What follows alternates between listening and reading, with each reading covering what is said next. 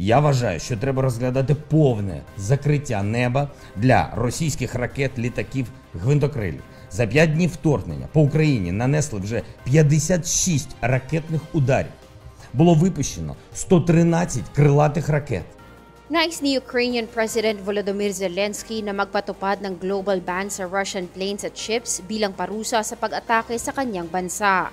Aniya, naglunsad ang Russia ng 56 rocket strikes at nagpaputok ng 113 cruise missiles laban sa Ukraine sa nakalipas na limang araw.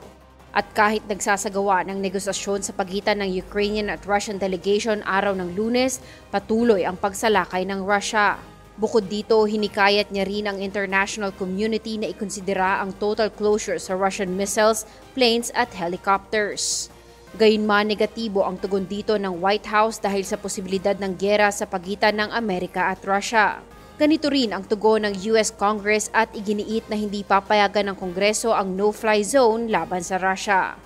A no-fly zone would require implementation. It would require deploying U.S. military to enforce, uh, which would be a direct conflict, uh, potentially a direct conflict, and potentially war with Russia, which is something we are not planning to be a part of.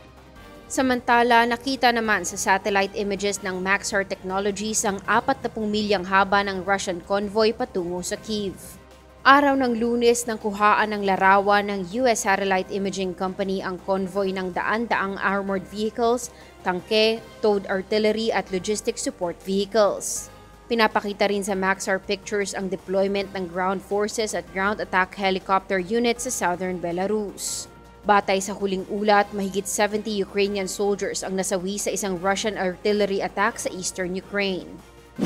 Bagaman nakapagsagawa na ng pag-uusap ang mga negosyador ng Ukraine at Russia, tanging napagkasunduan ng magkabilang panig ang magpatuloy sa pag-uusap sa mga susunod na araw. Kat Maraos, UNTV News and Rescue. Diyos ang aming sandigan, serbisyo publiko ang aming pinahahalagahan.